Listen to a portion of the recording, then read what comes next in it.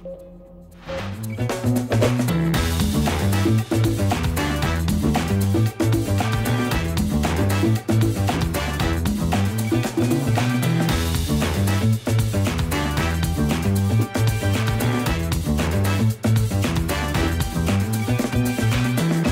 know, we have had a lot of different guests over the course of 500 episodes or so of the exam room, but not once have we had a legit rock star. And certainly nobody has ever had a proper head of hair quite like our guest today.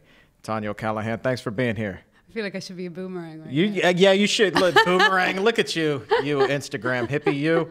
It's really good to see you. Thanks for being here. Yeah, thanks for having me. Legit rock star. Yeah, I put those two uh, words together, like Legit. What makes a rock star legit? your hair. Okay. A hundred percent. No. Taken. I mean, well, your day job, you play bass for some of the biggest bands out there. We're gonna get into a lot of health stuff, I promise you. But we we just this is your first time on the show. People need to know who Tanya is. I think a lot of people are looking at me walking around wondering why I'm at a medical conference. You scare the people, but the people need to be scared. But you, nobody. Uh, that's the cool thing, though, right? It's like you kind of are shattering the stigma that you know it's like you have to be this way or that way to be a proper vegan. And mm-hmm. clearly, you march to the beat of your own drum, girl. Yes, definitely. I like my drum. Yeah, I bet you did. I thought you were a bassist. Do you play the drum too? Badly, badly. I think Badly? every every musician is like a failed drummer. Right. You know, non-drummers. All right, here we go. Let's Yeah. let's talk about this. So, legitimately though, we don't have to go down the roster of bands that you played with. It's impressive, but you do travel the world playing music, and you have been eating a plant-based diet for how long now? My whole life. Yeah. Actually. Yeah, yeah, my whole life. I mean, we didn't have the words for for any of these like diets in Ireland. I was just an accidental vegan. So yeah, it's How did this happen? Oh, oops! I just fell, and then I was like, "Oh my god, I'm a vegan." Um, no, I was four when I realized what meat was. So I was Ah. a, a tiny tot in small town Ireland, and I made the association with animals very, very young.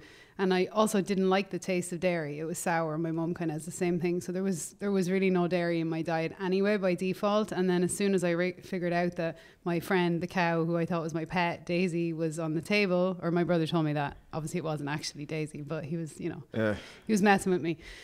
And I just started crying, and I remember it vividly. And I was like, hold on a minute. As most kids do, they make that connection. And then we kind of, you know, obviously suppress it and we normalize eating animals. But I made that very young and I stayed completely hell bent on it. And I've been screaming about animal rights since I was a very annoying little girl and still am. How do you get people to to listen to like especially you know at a conference like this where clearly you are the only one walking around with that funky head of hair, right?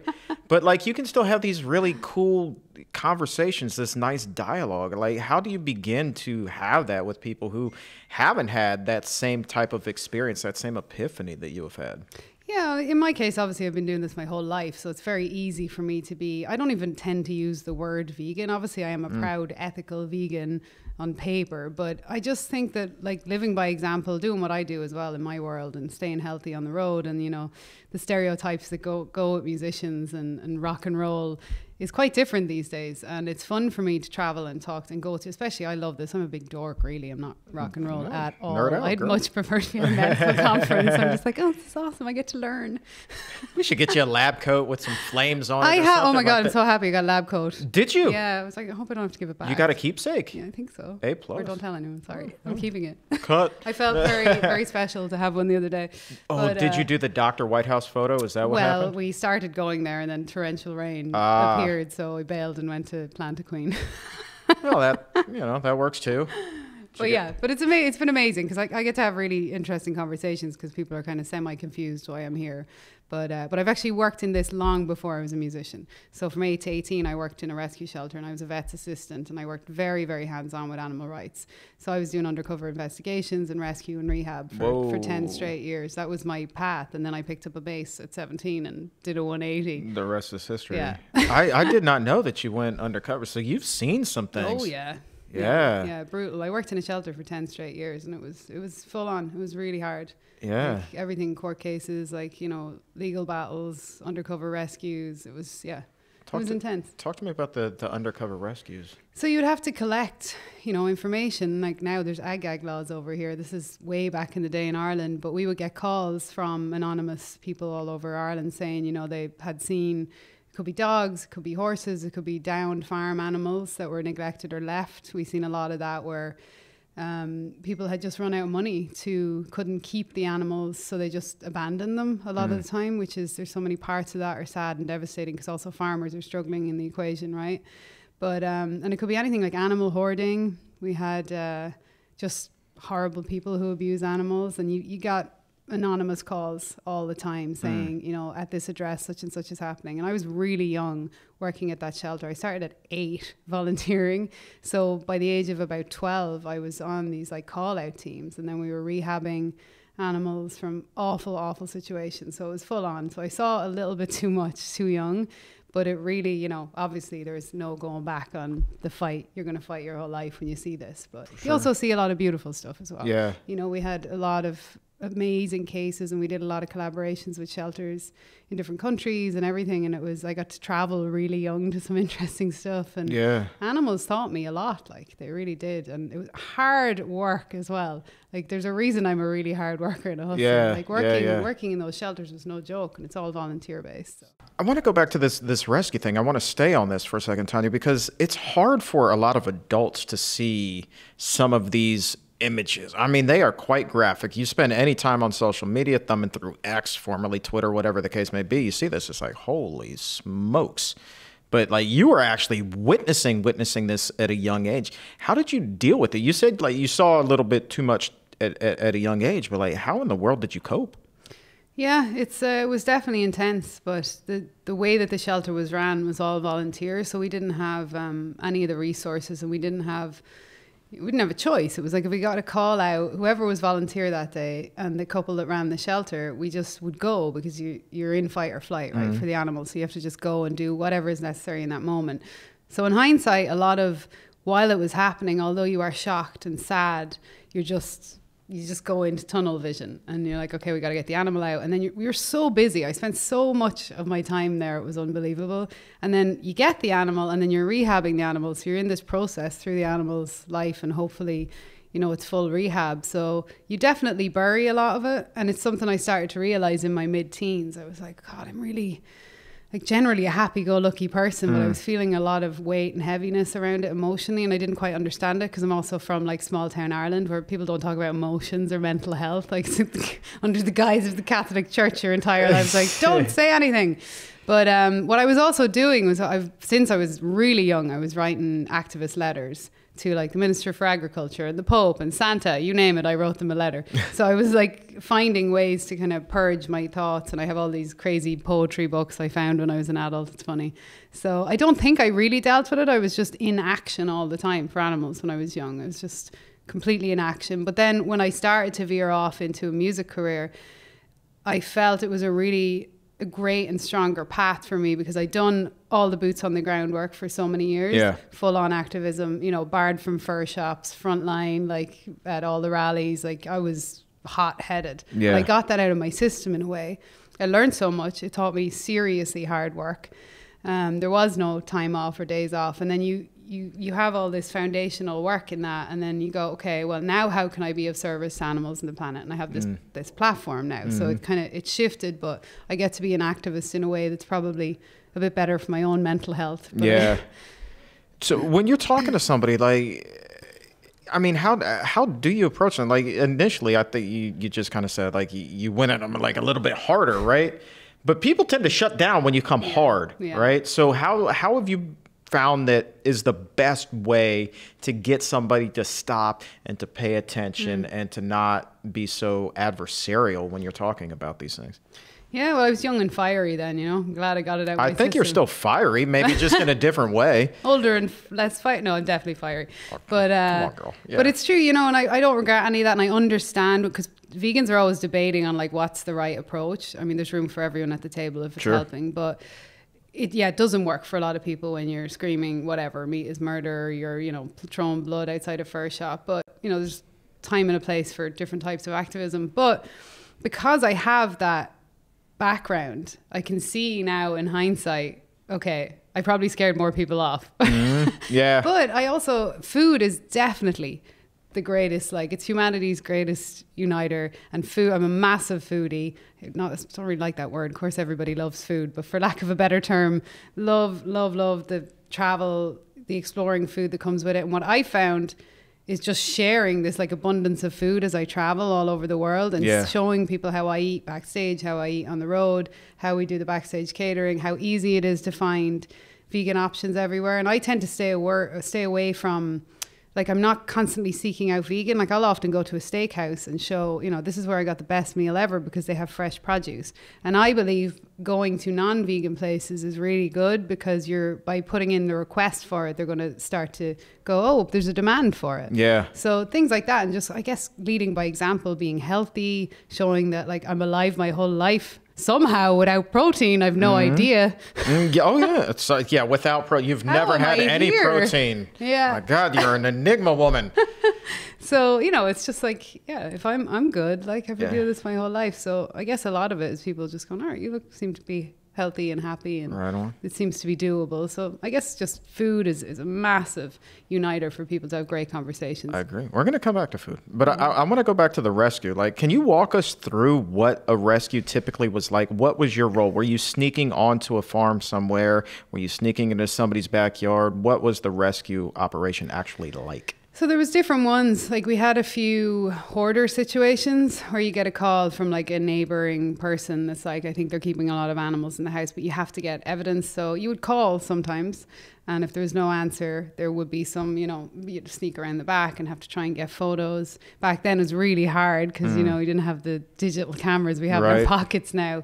You try, you always try first to communicate in any situation, right? Because you don't know what's going on with the person. You can't immediately point the finger. Someone could be mentally ill. There could be anything going on. There could be extreme poverty.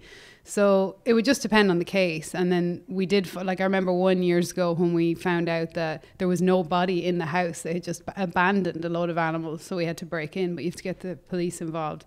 And then depending on the severity of the cruelty, um, some would have to just be put down because it was too bad, and you're like, let's just put them out of their misery because it's not, it's there's no going back from like extreme, extreme um, neglect. And then you'd have beautiful cases where I would take a lot of animals on that quite often, not always, but quite often animals have been abused by male figures. So they would literally not trust the guys at the shelter. So I spent a lot of my time rehabbing animals that were completely afraid of any male character. Um, so I had horses and chickens and cats and all sorts that you just spend every waking hour like bottle feeding them back and medication and warmth and all that. And a lot of them bounced back. We lost a lot. With the bigger animals, you had to get like the SPCA's involved, the police involved, because it's very hard to move like a cow or a horse. We had horses we found in ditches that were dumped Mm. into ditches. Mm. Like, and that was really, really tough because, and I got a lot of injuries because we would have to get ropes and like put it under the horse. And it was a lot of young volunteers and maybe one or two guys, and we're literally trying to physically take animals out. I got a lot of the strange thing that happens in Ireland where people dump animals in bags into the river, which is a way to get rid of kittens and puppies that went on for a long time. I hope it doesn't still, but that was strange. But some people would see it happen and call immediately because we were the only shelter in a small town. Yeah. And someone had just seen someone do it instead of just abandoning them at the shelter. So we would go as quick as we could and hope that we could find the bag downstream. And sometimes you'd have, you know, six or seven drowned kittens and one would, would live. So we, we just did our best. But, you know, as well as that, the older and wiser you get, it was like, let's try to get education programs in place because you just, again, you can't, you can fight all day long with the opposite side, but we started to get involved then in a lot of trap spay release. Mm. So you go into the communities that tend to be doing this most and be like, hey, here are vouchers. You can get your pets spayed. Here's a free voucher. Just let's stop this cycle. Yeah. So there was all sorts of different iterations of it, and it was pretty intense. And I'd yeah, all sorts of animals over the years. Dag on. Yeah, it and at such a young age, you're doing that, man. yeah, it was intense. That's it. Like I would have developed a serious emotional callus, like Mm-hmm. just by default, just to go into self-preservation mode at that point. That's a hard thing to see, Tanya. Toughens you up. Yeah, legit. All right, well, let's talk about something a little more happy. And that universal, uh, you don't like the word foodie, but food brings them together, man. Yeah. You know? Um, You said that you like to go to non vegan restaurants, and that's kind of how you educate things. One of the things that I was shocked when I started to eat a plant based diet was, and I'm not a huge fan of going to a steakhouse, but if that's where my family, extended family wants to go, I have always found it particularly easy to eat a plant based meal at a steakhouse, which there is a lot of irony there. Yeah. A lot of irony. I know, but isn't it great?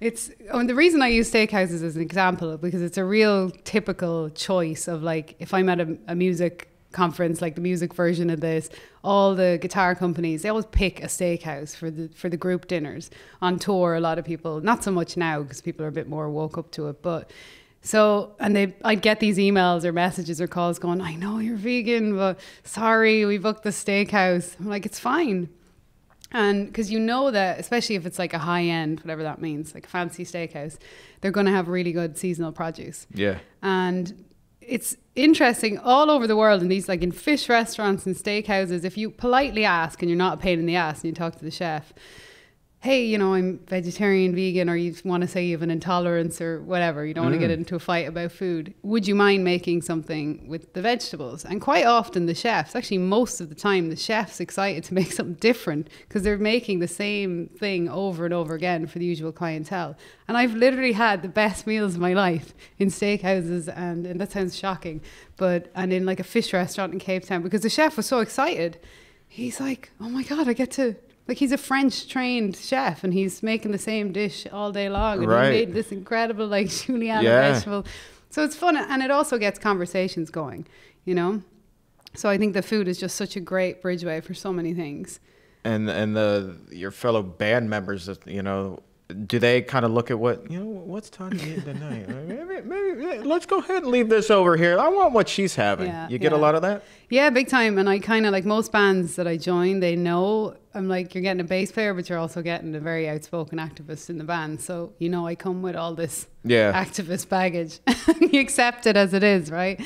But uh, and they know i love food. So i will ask like to have a majority say on backstage catering because it's not just about veganism right? It's about feeling healthy on the road and staying sure. healthy. So and that's really hard when you're touring because you're just it's just it looks glamorous from the outside but it's a really intense lifestyle with not enough sleep and a lot of movement. So when I bring in like a lot of plant-based catering and then the guys tend to feel better Oh. And ah. they're like, oh, I'm lighter. Oh, I feel more satiated. Or, you know, my inflammation's gone down. And the next thing I have them all doing yoga and we're eating vegetables. And it's so not rock and roll. The master like, Sorry to, you know, spoil the whole idea people have. but they do. And, but, and also a lot of musicians these days, like the, the stereotypical image people have of rock and roll is really a handful of bands maybe do that, but most people, it's such a hard industry that you have to keep on top of your health. Mm. So, and it's in order, like you're on the you're on the road for months on end. Right. You have to stay healthy.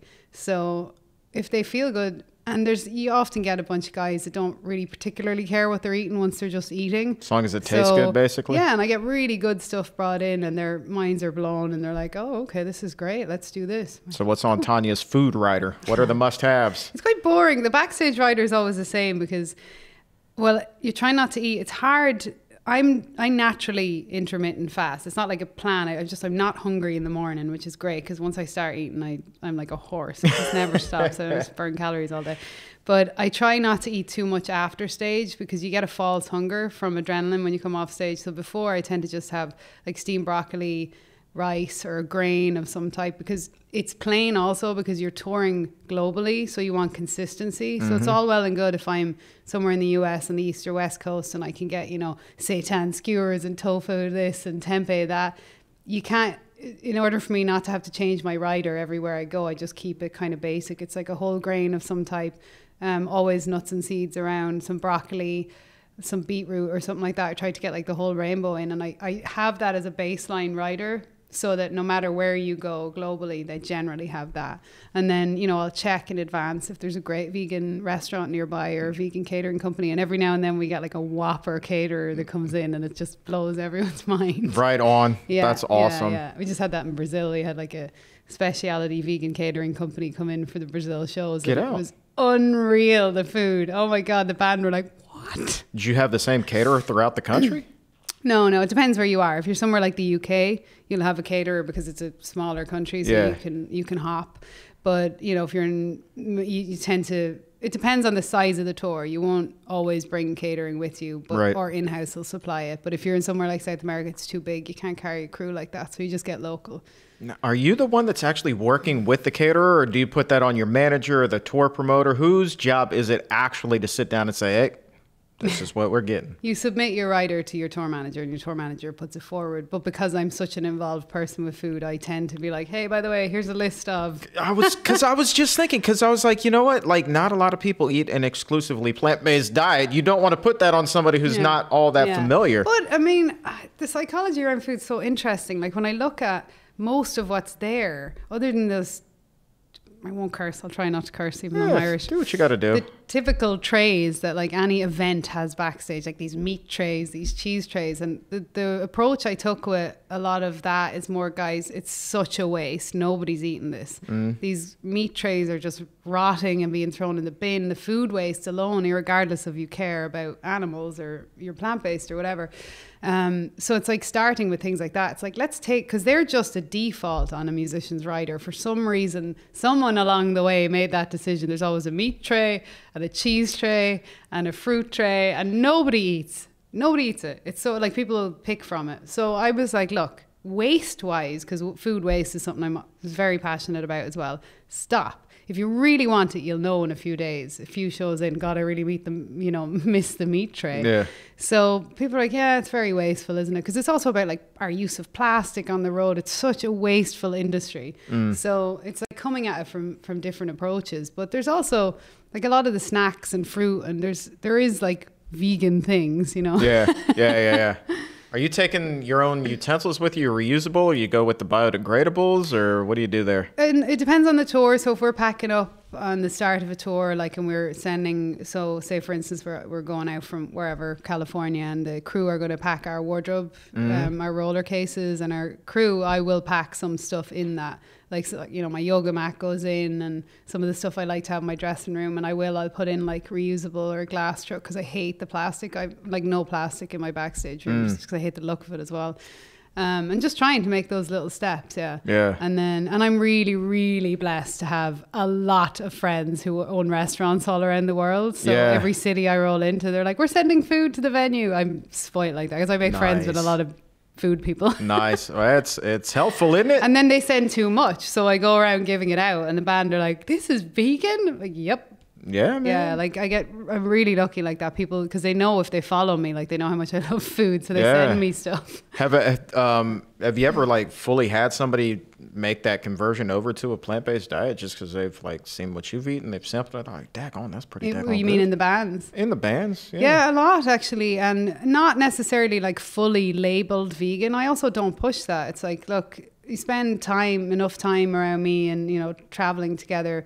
A lot of already like veering that way musicians that are healthy and health conscious will end up being majority plant based, mm. and I think that's great. I'm not there to like drill home the last five percent. Yeah. So a lot, a lot of them do, and after tours and stuff over the years, they'll stay in touch. But a lot of crew, which is where I target. So a lot of the music industry, I say target like it's like a mission. I'm coming for you. Coming for you because typically a lot of industry crews, I'm talking about like your backline guys, lighting, your roadies, your riggers. These guys are road dogs. They've been on the road for 30, 40 years and they're very it's a very stereotypical road diet. They're eating fast food because you can get it everywhere we go. They're drinking Coca-Cola or Mountain Dew. They're all hypertension, diabetes, you know, overweight Oh, they got them all, do they? and they don't don't know anything about food because they live on the road. They're real crude dudes. Right. So i'm like I'm like, give me that. Like let's go. let's go. And I've had some really amazing stories actually with crew over the years. A couple of the crew curing diabetes just by eating with me on the road. Yeah, yeah.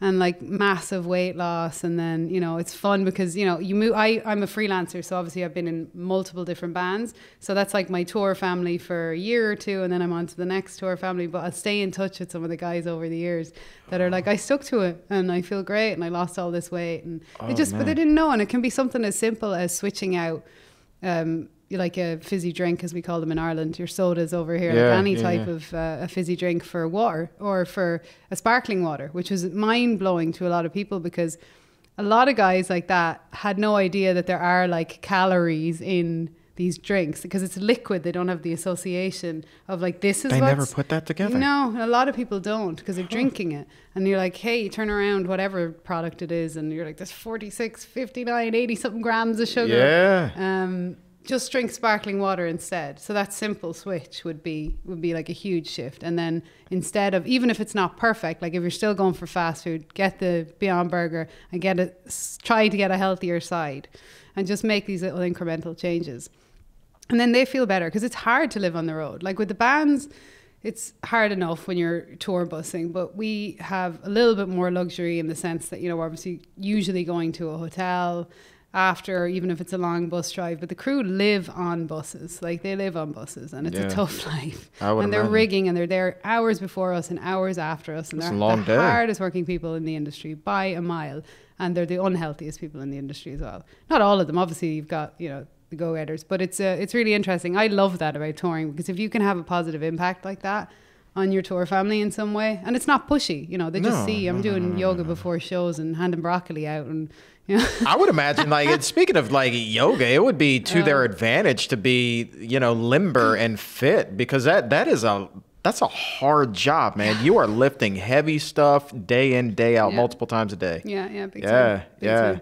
They need to look at every all of us do. I mean, and whatever you do, but it is it's a it's a tough industry. People don't see the what goes into putting a show Mm. together. And like long after the band and everyone has left the venue as well, these guys are still there tearing it down. Oh yeah, Yeah, so roadies, it's man. like yeah, roadies are shout out to all the roadies, my favorite people. They are hardworking individuals. Like- you know what I would love to do? I would love to do a show with you and a roadie or two who you've actually impacted and just get that full story as we well. should just do a whole documentary on it. Duh, oh God! Like let I me like just be behind the scenes. I don't care. Yeah, just yeah. let me be involved in that. That would be fascinating. Yeah, yeah. Like legit fascinating. Um, what are some of the bands that the exam roomies who are watching or listening right now uh, might be familiar with? Who you've had the the privilege of playing for? Well, I mean, I'll go back. I'll start at the beginning. Back in Ireland, back in the day, um, first band. Well, they wouldn't really be known here, so I did like some of the girls from the Corrs. If anyone knows the, The Corrs, so I'm, yeah. I'm going right back to when like I started. I did like pop bands no one would ever know over here. Brian McFadden, Westlife, had uh, Sharon Corr, and then I did like the house band for the Late Late Show and uh, The Voice and all this these different shows like that. Before I made the leap of faith to come over to the US, you're making a face. So you're like The late late. Sh- Not the one here. So oh, we have our own. I was like, yeah. okay. So my f- foundations of a lot of what I did was in house bands and TV shows. Right and then when you play in the house band, you get gigs off the back of that, and that's where Yep. this all started to happen.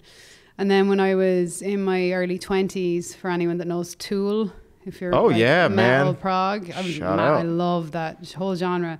Maynard um, brought me over to record. Maynard Keenan brought me to Arizona, and that's what kicked off the American idea of being over here because Maynard took a risk on me as a young player and I wrote and recorded with him for his other project Puscifer. So people usually know Tool, he has Tool, A Perfect Circle and Puscifer, which is um, a lot of guests. It's like a revolving door. Yeah. And I met them in Glasgow and I was doing a show and Tool were doing a show and we just, you know, we clicked and we were talking music and he invited me to play. I was like, uh, yeah, like I will definitely come over and play for you. That's dope. So that triggered a a thing in my head. He was definitely a catalyst for like, well, if I can go to the US and play with someone that I admire that much musically, but is is that big of a deal in the music industry? What else could happen if I, mm-hmm. you know, jumped across the pond and see what happens? So then after that, I went back and forth to Ireland a lot, and I was just doing like all sorts of like wedding bands, corporate bands, still working in animal rights a lot. And then I moved to LA, and I was just you just have to get in the scene. It's really weird because I came back to zero. I was playing with everyone you could possibly play with in Ireland and across Europe. But it's such a small scene that at a certain point you've rotated around mm. and you can't, you're not really going to get any further. So when I came to the US and I was kind of back down at the bottom, so I just, I came on my own bass on my back and I started playing jam nights. So they're like open jam nights. So, you know, professional musicians that are off tour kind of rotating around these scenes in LA. And eventually people start to see you play. And the first, I had a pop gig for a while with a kid called Jordan Fisher that was more in R and B. and Toured with him for a while, and then and then Dee Snider's band saw me, Dee from Twisted Sister, and Dee hired me to do what was supposed to only be like a one or two show thing, and then we toured together for like two years and did an album. And Dee's amazing. So Dee was one of my first like American rock and roll things. And then after Dee, I was with Steven Adler, Guns N' Roses, and then immediately after that, Whitesnake, and then Bruce Dickinson, Iron Maiden. So ah. I just went through the 80s like a wildfire. That's like shit, man. I don't know how it happened.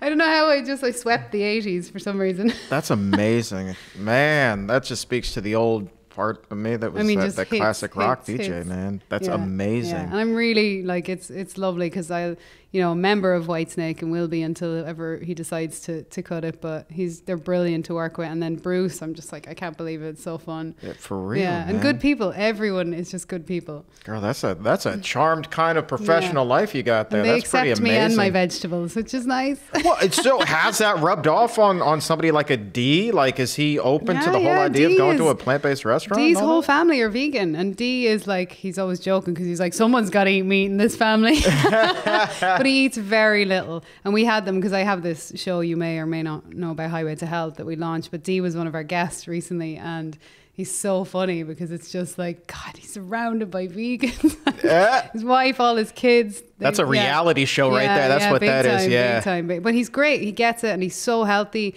And Dee is a great example of like people presuming. Like for those who know Twisted Sister, when you look at them, and I I remember when I joined.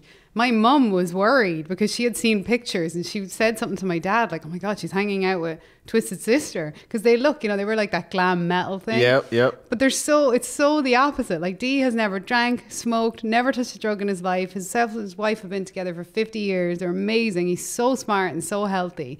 And it's the opposite to what people think. But he's a rock star, right? It's a gimmick, yeah. But yeah, and it's funny. And David's um, David Coverdale is very like mostly plant based and still in touch about that all the time. And you know, I was just talking to his wife yesterday. I'm going to go up and cook them some food and Oh, for yeah, real? show them some like home recipes because they they love it and they're just you know they're into health and they want to people want to feel good as they age and especially into like retirement age for musicians who've been on the road for such a long time like Oh, they yeah. want to feel good Oh, so yeah. and bruce by default is very plant-based he does eat a little bit of meat and some dairy but he gets it. He's a really, really intelligent guy. He's a complete polymath. He's a fascinating, brilliant character, and he gets it. So he's like his rider and my rider are actually identical, except for he has hard-boiled eggs, and so it's so funny.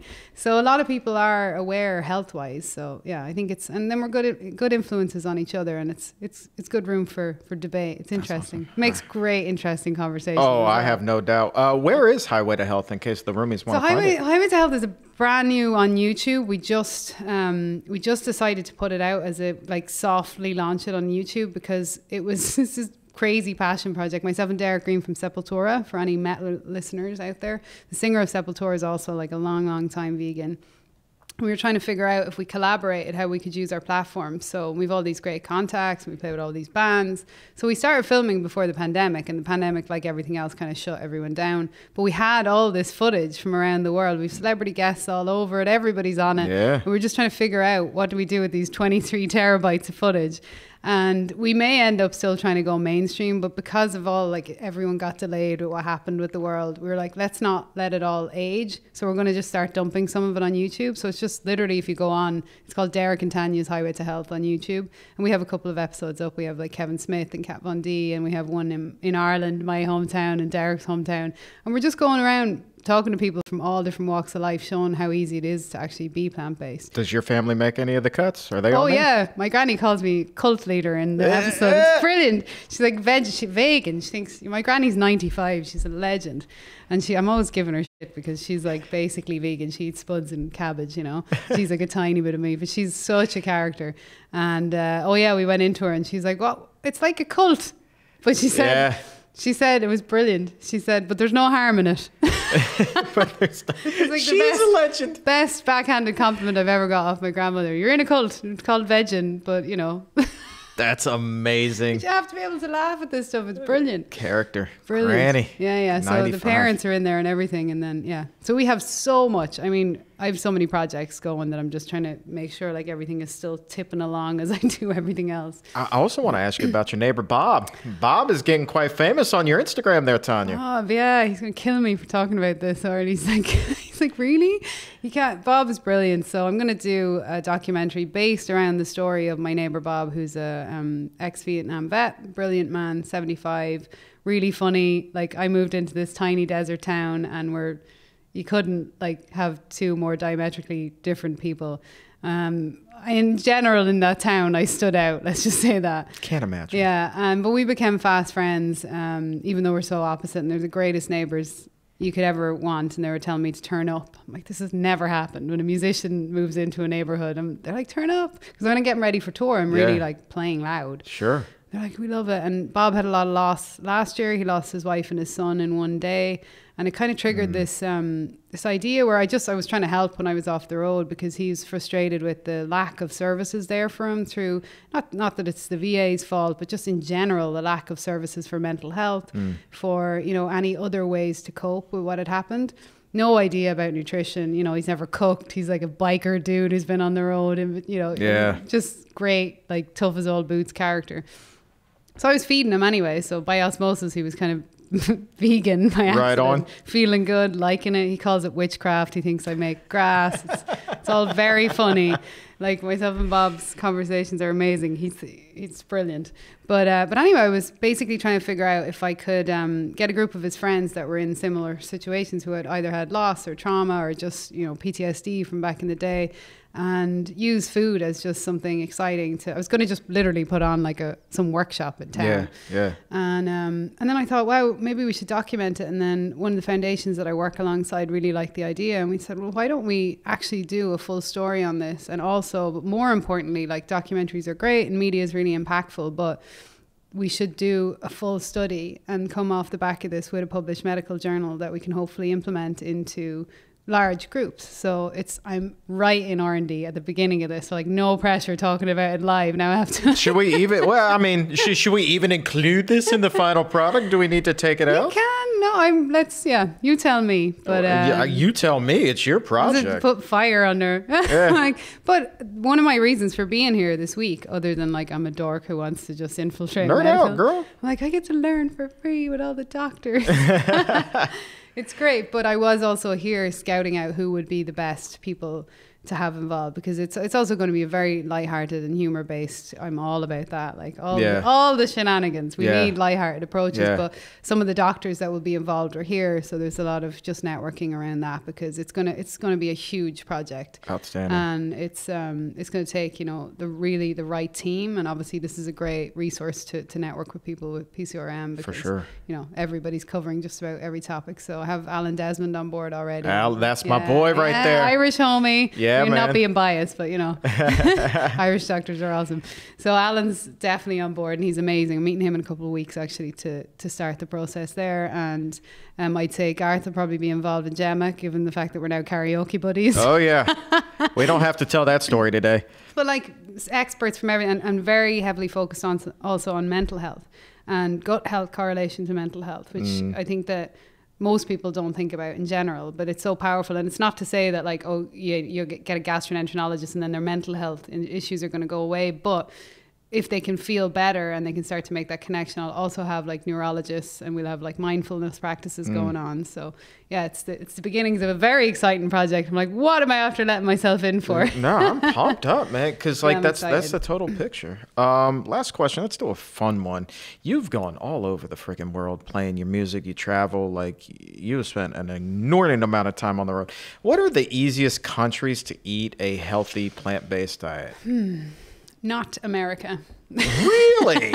if you're on the and amazed. well, well, let me be more specific because I always laugh about this. If you're on the east and the west coast, easy, no problem. And most, it's getting better. But a couple years back, if you're doing a bus tour in the middle of America or the Midwest or the South, it was hard because it's just more fast food. But um, mainland Europe is pretty easy. I mean, Germany is miles ahead with it. Um, I think that actually, like the UK is also pretty good. It just because I'm looking at it from a different perspective. I don't think it's hard because I've mm. been doing it my whole life, so I know how to read a menu anywhere. So and food begins with psychology, obviously. So it's I have like I could say ever I could sit here and list all the continents basically, but I, I mean it's more about how to like how you read a menu. So you Yeah. could be in France or you could be in Cape Town or you could be in Brazil. And ironically, like Brazil, even though it's such I go to Brazil a lot and even though they eat a lot of meat typically, they have the biggest abundance of fruits and vegetables in the world. So that's really easy in Brazil. Yeah. But people in Brazil don't often see what's right in front of them because they're for some reason over the years obviously meat has got associated associated with affluence everywhere. So I think the hardest place was China just because it's such a meat culture in the markets. But at the same time, as you go out into rural cities, it's people are by default plant based. Yeah. So everywhere is a little bit different. Um, but I've you know I've I the, my favorite thing about touring is food and finding restaurants. Oh, yeah. I, this question could take like two hours to answer if you want to like list. I mean, I honestly think like that. I, I I would hope that that's part of like Highway to Health, like some of your favorite Oh, spots, yeah, the yeah. hot spots. Yeah, yeah. Like put them out there, man. You know. yeah, we've been out and we literally we did like we are we've done quite a few countries already, and then we went on board with uh, with Sea Shepherd doing like an ocean conservation episode, eating fully plant based on the ships. We did stuff on the automotive industry, so we were with Ford in Brazil talking about like what's you know what's really the story with electric and the interior of the cars. So we're covering quite a few different topics, and we we shot one with Brazil on in Brazil with Bruce on aviation on future aviation because that's something that I try to be very transparent about. I hate that I have to fly this much, but it's the nature of the beast of what I Sure, do. sure. The flight's going anyway, right? Yeah. So while I fly and go to places, I try to use my platform and I don't turn away from things like aviation. Um, because people are always like, "Oh, you fly so much." I'm like, "I know," but some of the pilots that are involved in our in our tours are very cautious and really, really want to make a difference for future aviations. And it is actually going faster than people know. And people like Bruce Dickinson's brilliant at this. Like they're all about trying to get carbon neutral flights. It's amazing, but it takes time and it takes going around the world. I know it's kind of a little ironic in a way, but a lot of the events I've been speaking at in Brazil, I'm going back in October, is how do we get everybody together and talk about the solutions without fighting, right? So and that mm-hmm. can be everything from aviation to food. But at the end of the day, if ever there was a the closest thing to a panacea, it's getting the world to go plant based. You know the funny thing, Tanya, I'm I'm sitting here. I've been listening to you talk this entire time, and I gotta tell you, you are as brilliant as any doctor who I've talked to throughout the course of not just this conference, but the history of the show, and this this community that we are in needs more people like you. Oh, Absolutely Thank needs more people that. because you can put the total package together. You know, a lot of people are an expert here, an expert there. You are one of the few who grasp the whole picture.